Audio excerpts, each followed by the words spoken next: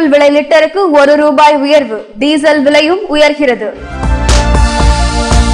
Saudi அரேபியாவில் வேலையின்றி தவிக்கும் பத்தாயிரம் இந்தியர்கள். உணவின்றி வாடுவதால் இந்தியா அழைத்து வர மத்திய அரசு நடவடிக்கை. சட்டத்திற்கு உட்பட்டே தடுப்பணைகள் கட்டப்படுவதாக ஆந்திர அரசு திட்டவட்டம். பாலார் விவகாரத்தில் எந்த ஒப்பந்தமும் மீறப்படவில்லை என்று அறிவிப்பு. தொடரும் மழையால் நிரம்பியது கிருஷ்ணகிரி அணை. ஐந்து மாவட்டங்களுக்கு வெள்ள அபாய எச்சரிக்கை. இலங்கை கடற்படை தாக்குதலால் வாழ்வாதாரம் பாதிப்பு. பிழப்பை தேடி வெளி மாநிலங்களுக்கு செல்லும் மீனவர்கள்.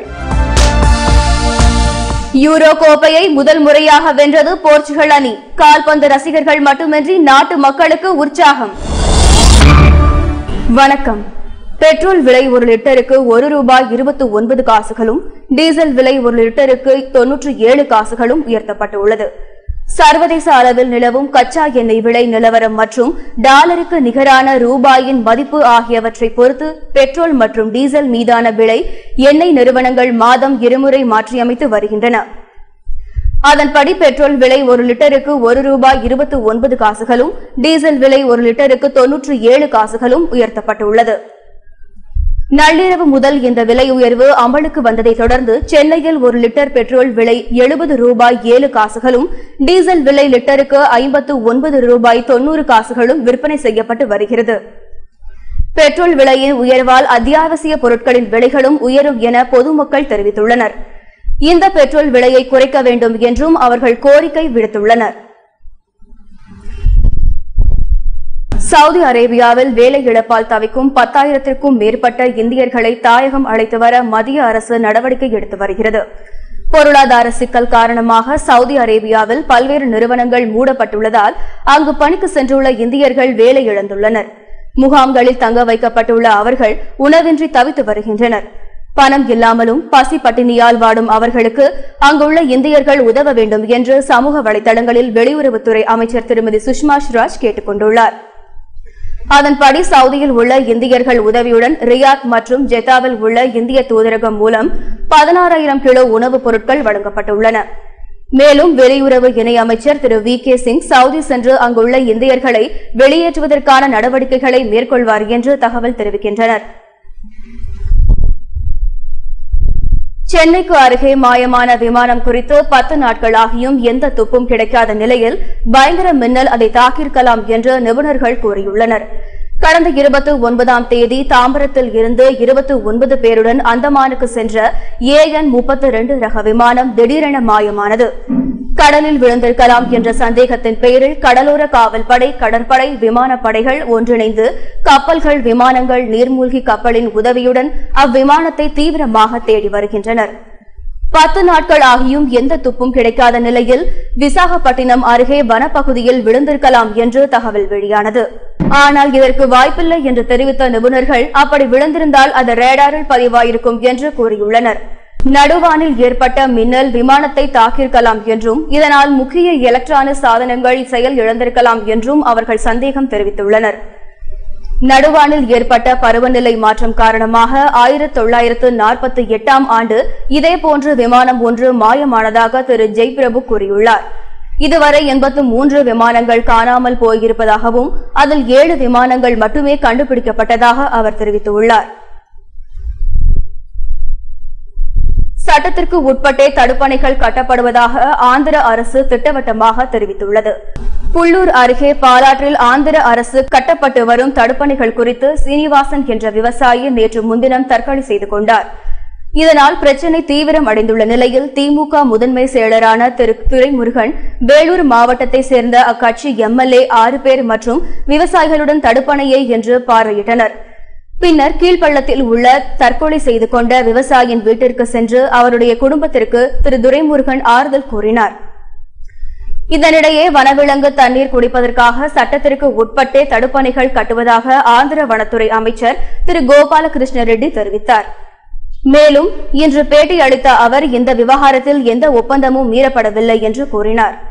தடுப்பணை கட்டுவது தங்களது உரிமை என்றும் திரு கோபாலகிருஷ்ணன் தெரிவித்தார். ஆயிரத்து எழுநூற்று தொன்னூற்று இரண்டாம் ஆண்டின் மதராசு மைசூர் ஒப்பந்தத்தின்படி தமிழகத்தில் ஒப்பந்தமின்றி பாலாற்றில் அணை கட்டுமானத்தையோ நீர் தேக்கவோ திருப்பவோ போன்ற எந்த செயலையும் ஆந்திர அரசு மேற்கொள்ள முடியாது என்று முதல்வர் ஜெயலலிதா நேற்று அறிக்கை வெளியிட்டுள்ள நிலையில் ஆந்திர அமைச்சரின் பேச்சால் சிக்கல் அதிகரித்துள்ளது கிருஷ்ணகிரியில் உள்ள கேஆர்பி அணை வேகமாக நிரம்பி வருவதால் கடலூர் உள்ளிட்ட ஐந்து மாவட்ட மக்களுக்கு வெள்ள அபாய எச்சரிக்கை விடுக்கப்பட்டுள்ளது. கிருஷ்ணகிரி மாவட்டத்தில் பெய்து வரும் கனமழை தென்பண்ணை ஆற்றில் வெள்ளப்பெருக்கு ஏற்பட்டுள்ளது. இதனால் கேஆர்பி அணைக்கு வினாடிக்கு இரண்டாயிரத்து ஐநூறு கன அடிக்கு மேல் தண்ணீர் வந்து கொண்டிருக்கிறது. ஐம்பத்து இரண்டு அடிக்குள் அளவு கொண்ட அணையின் நீர்மட்டம் தற்போது ஐம்பது அடியை தாண்டியுள்ளது. அணைக்கு நீர்வரத்து தொடர்ந்து அதிகரித்து வருவதால் எந்த நேரத்திலும் அணையில் தண்ணீர் திறக்கப்படலாம் என தெரிகிறது. இதை அடுத்து கிருஷ்ணகிரி தருமபுரி திருவண்ணாமலை விழுப்புரம் கடலூர் ஆகிய ஐந்து மாவட்டங்களுக்கு வெள்ள அபாய எச்சரிக்கை விடுக்கப்பட்டுள்ளது. தென்பெண்ணை ஆற்றின் கரையோரம் வசிக்கின்ற மக்கள் பாதுகாப்பான இடங்களுக்கு செல்லுமாறு அறிவுறுத்தப்பட்டுள்ளனர். இலங்கை கடற்படையினர் பிடித்து வைத்துள்ள படகுகளை மீட்கக் கோரி அடிக்கடி வேலை நிறுத்தம் நடைபெறுவதால் ராமேஸ்வரம் மீனவர்கள் வெளி மாநிலங்களுக்கு வேலைக்கு செல்லும் அவலம் ஏற்பட்டுள்ளது. கடலில் மீன்பிடிக்க செல்லும் மீனவர்களை இலங்கை கடற்படையினர் கைது செய்வதும் படகுகளை கைப்பற்றுவதும் தொடர்ந்து நடைபெற்று வருகிறது. தற்போது நூற்று இரண்டு படகுகள் இலங்கையிடம் உள்ளன. இதை மீட்க வலியுறுத்தி கடந்த இருபத்தி இரண்டாம் தேதி வேலை நிறுத்த போராட்டத்தை தொடங்கினர். பத்தாவது நாளாக நீடித்த போராட்டத்தில் வேலை இழந்த மீனவர் பிழைப்பை தேடி வெளி மாநிலங்களுக்கு படையெடுத்துள்ளனர். மீதமுள்ள மீனவர் அப்போராட்டத்தில் கலந்து கொண்டு பசி பட்டினியில் வாடுவதாக தகவல் தெரிவிக்கின்றனர். இந்நிலையில் மத்திய அரசுடன் நடந்த பேச்சுவார்த்தையில் இரு நாட்டு மீனவர்களுடன் சமூக உடன்பாடுகள் நடத்த பேச்சுவார்த்தை நடைபெறும் என்று உறுதியளிக்கப்பட்டதை அடுத்து வேலை நிறுத்தத்தை ராமேஸ்வர மீனவர்கள் விலகியுள்ளனர். வரும் மூன்றாம் தேதி கடலுக்குள் மீன்பிடிக்க செல்லப்போவதாக அவர்கள் தெரிவித்தனர். தொடர்வது வணிக செய்திகள். வாரத்தின் முதல் நாளான இன்று பங்கு சந்தைகள் பெரும் உயர்வுடன் முடிந்தன. ஆசிய பங்குச்சந்தை ஏற்றத்துடன் இருந்த நிலையில் இந்திய பங்குச்சந்தை உயர்வுடன் தொடங்கின. அமெரிக்காவில் வேலை வாய்ப்புகள் அதிகரித்து இருப்பதாக வெளியான தகவலால் சர்வதேச பொருளாதார வளர்ச்சி சிறப்பாக இருக்கும் என்ற எதிர்பார்ப்பில் முதலீட்டாளர்கள் ஆர்வத்துடன் வாங்கினர்.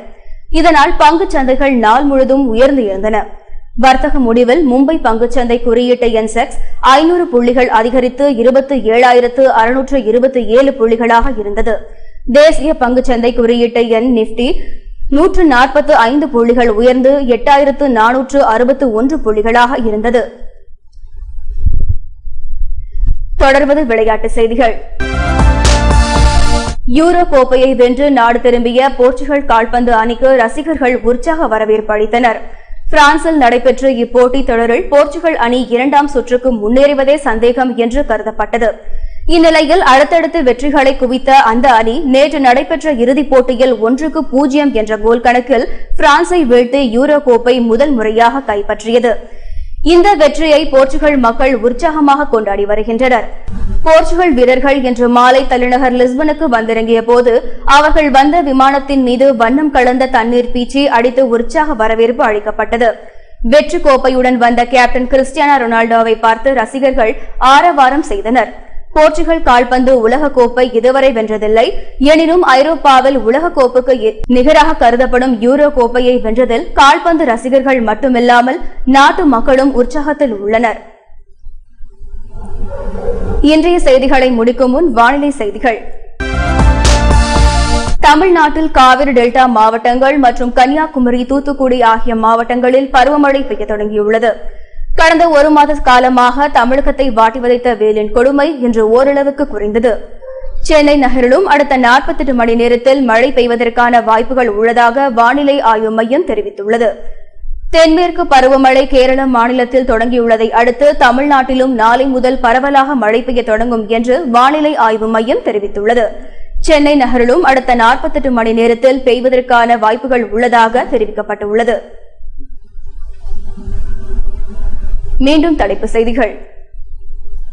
பெட்ரோல் விலை லிட்டருக்கு ஒரு ரூபாய் உயர்வு டீசல் விலையும் உயர்கிறது.